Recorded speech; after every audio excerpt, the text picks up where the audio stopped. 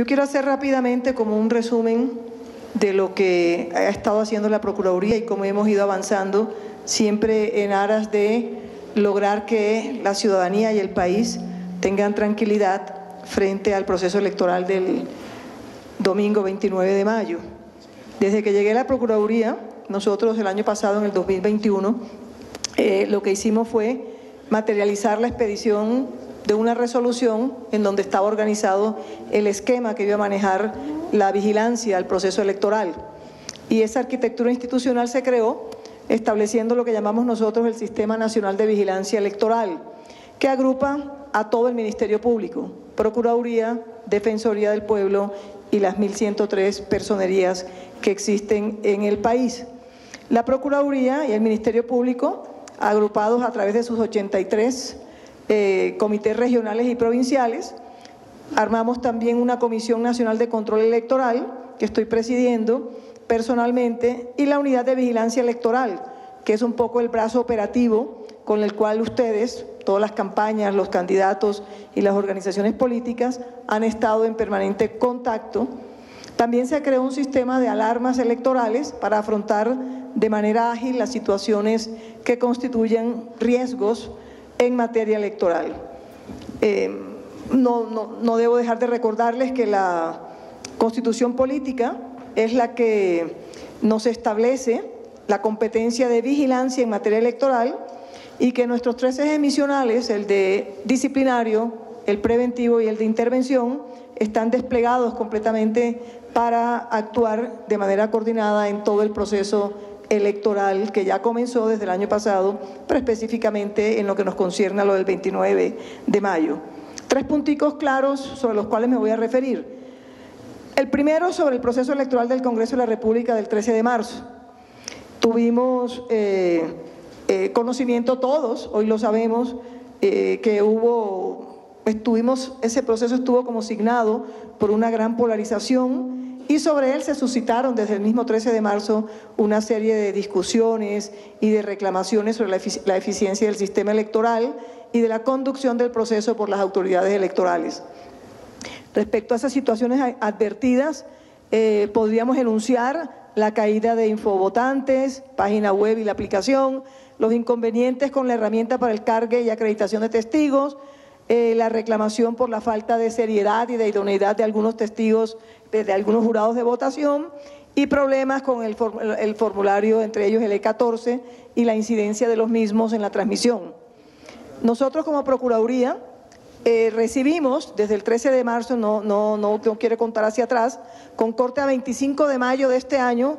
2.482 quejas de las cuales, con un equipo interdisciplinario, cuatro delegadas trabajando arduamente de día y de noche, hemos tratado de evaluarlas, revisar una por una, y de esas, al día de hoy se han evaluado 1.825 quejas de toda clase, muchísimas de carácter abstracto, debo reconocerlo, y se produjeron 136 em, aperturas de indagación previa, 41 aperturas de investigación disciplinarias, contra servidores, contra jurados de votación, que estamos ya en trámite de analizar el pliego de cargos en los que haya lugar, y algunas aperturas contra algunos alcaldes eh, del país. En ese proceso electoral del 13 de marzo, nuestros agentes del Ministerio Público estuvieron siempre presentes y activos en las comisiones escrutadoras locales y municipales. De hecho, tuvimos alrededor de 9.000 funcionarios del Ministerio Público vigilantes en el proceso electoral. Ojalá pudiéramos tener, como lo pide una de las campañas, un procurador o un funcionario de la Procuraduría en cada una de nuestras de las mesas de votación, pero se pueden imaginar qué significa eso, ¿no? Alrededor de 112 mil mesas de votación, si los contratamos, eh, contratamos uno para, para cada uno, serían 1.200 y pico, 1.300 personas, y si les pagamos un mes de sueldo, que es lo que dura un proceso específicamente electoral, estamos hablando de alrededor de 135 mil, 140 mil millones de pesos, lo que sería absurdo que la Procuraduría solicitara eso, pero si, si ello hay, se podría pensar en el futuro si esa es la petición de las campañas en las próximas contienda electoral, que ya nos viene el año entrante. El proceso actual, entonces, eso fue lo pasado, eh, En, en lo pasado tenemos aperturas de investigación disciplinaria, todas están en camino y en el presente, que es el proceso actual, hemos acompañado desde el 13 de marzo la misión preventiva y de intervención de nuestra entidad. Nosotros invitamos a las campañas electorales para el 19 de abril, hicieron presencia con sus representantes en la Procuraduría y lo que queríamos era trabajar con las campañas las preocupaciones sobre la falta de garantías para las elecciones del 29 de mayo. Eh, anotamos, intercambiamos, trabajamos en conjunto, eso se materializó a través de unas preguntas que se le hicieron al Consejo Nacional Electoral y al señor registrador, el señor registrador nacional. Ellos nos respondieron debidamente, nos dijeron cuáles eran sus planes de acción, el señor registrador nos explicó cuáles eran los planes de acción y nosotros pues seguimos eh, muy atentos, es decir, hemos estado haciendo seguimiento a través de las mesas de trabajo que también sugerimos para que hubiera por lo menos tranquilidad por parte de las campañas electorales. Em, las peticiones más específicas en ese momento fueron rediseño de los documentos electorales, se hizo seguimiento, se le pidió a tanto al Consejo Nacional Electoral como al señor registrador y se acordaron los cambios. Hoy se materializaron en la nueva tarjeta electoral y el acta de escrutinio de mesa E14. Respecto a infovotantes, que fue también uno de los temas que se tocaron en las conversaciones que tuvimos, al igual que en la comisión anterior de vigilancia electoral, y en ese sentido eh, se, nos reportó la adopción de correctivos. Esperamos que en esta reunión de hoy se certifiquen esos correctivos. Esa herramienta es el símbolo de funcionamiento de las ayudas tecnológicas, por lo tanto esperamos que funcionen. Nos informaron que ya hay toda una organización tecnológica preparada para que no ocurran los errores o los presuntos errores que ocurrieron el 13 de marzo. Hoy, lógicamente, confiamos en que están los correctivos realizados y que va a funcionar correctamente e ininterrumpidamente esa plataforma y pues hoy ya nos lo dirá el señor registrador. Respecto a los jurados de votación, se nos informó la modificación de los criterios de selección, todos tienen conocimiento de eso también.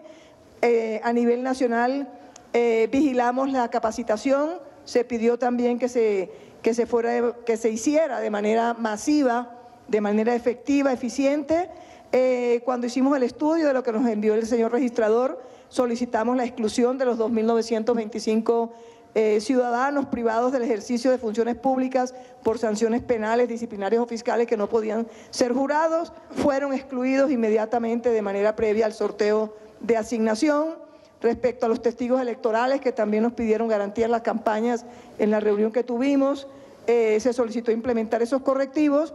y en la última reunión, que como han manifestado los representantes de las campañas, se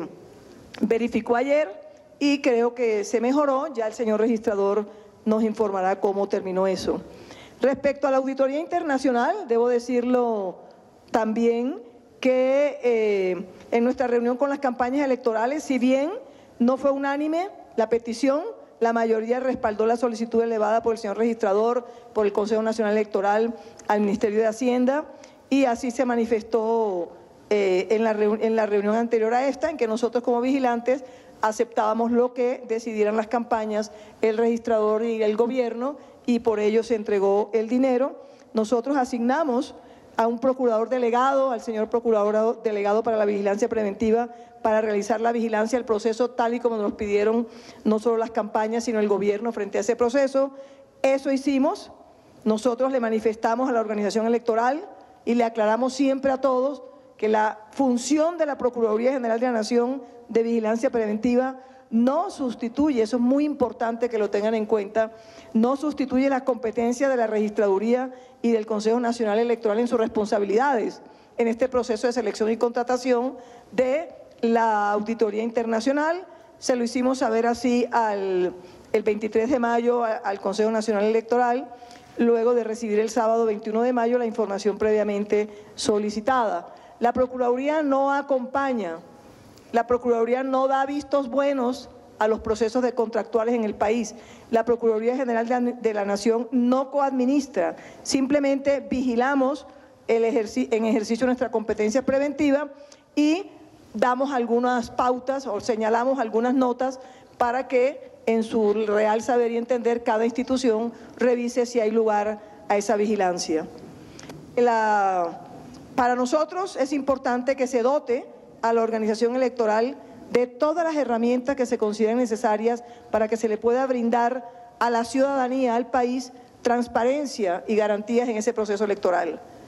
Eso sin perjuicio, lógicamente, del cumplimiento de la normatividad existente. Dar garantías y cumplir la ley es una combinación posible y necesaria para el 29 de mayo. ¿Cuál es el escenario futuro? Que sería la última visión que tenemos desde la Procuraduría. Que nosotros como vigilantes del proceso pedimos que el 29 de mayo todo debe funcionar y todo debe funcionar bien. Los correctivos que han solicitado y que ha anunciado la organización electoral van a tener sentido si vemos que el 29 de mayo todo funciona. Nosotros como Ministerio Público estaremos presentes en todo el territorio nacional con más de 9.000 funcionarios de nuestra entidad, del Ministerio Público. 9.000 funcionarios que, repito, están conformados por personería y defensoría y procuraduría. Tenemos una mesa de ayuda en todo el país lista para ayudar en lo que se necesite por parte de la, de la ciudadanía o de cualquier campaña o de cualquier testigo. Tenemos todos los canales habilitados, estaremos atentos en toda la jornada para las quejas, las ayudas, las reclamaciones, brindando orientación personalmente. Esos 9.000 funcionarios fueron capacitados, la Procuraduría hizo una capacitación, estuvo un funcionario de la Registraduría resolviéndole inquietudes a los 9.000 funcionarios o al grupo de funcionarios que van a trabajar ese 29 de mayo, con la intención de que con ese seguimiento y esa interactuación de la Procuraduría podamos lograr o velar y vigilar para que el proceso transcurra con normalidad. Las garantías electorales entonces validadas y solicitadas por las campañas fueron acatadas por el señor registrador. Esperamos que eh, de manera clara y concreta hoy estén ya definidas. Las que han solicitado hoy, pues miraremos que sean eh, solucionadas o absueltas las inquietudes por esta última mesa y quede todo con tranquilidad. Solo me queda por reiterar que es evidente que estamos en una campaña muy sui generis, con algo de polarización, con controversias, en donde lo que tenemos que hacer todos, creo yo, es tratar de juntos generar confianza en la ciudadanía, resolver rápidamente los problemas identificados, aplicar las lecciones aprendidas luego de las problemáticas que tuvimos el, el 13 de marzo y tener en cuenta que la idea es que haya mucho cuidado con el ejercicio hoy porque la distancia que existe entre, en caso de que vaya a haber primera segunda vuelta, entre la primera vuelta el 29 de mayo a la eventual segunda vuelta, si hay lugar el 19 de junio, son solamente escasas tres semanas. Por lo tanto, todo debe estar desde ahora perfectamente arreglado para que no haya problemas. Llamo a todas las instituciones aquí presentes, a las campañas, a la ciudadanía y de manera especial a los candidatos a actuar de manera responsable y comprometida con el país y con la democracia. Eso implica ejercer el derecho y el deber de vigilancia, todos, no solamente las campañas, los partidos, las instituciones, sino también la ciudadanía. Estar todos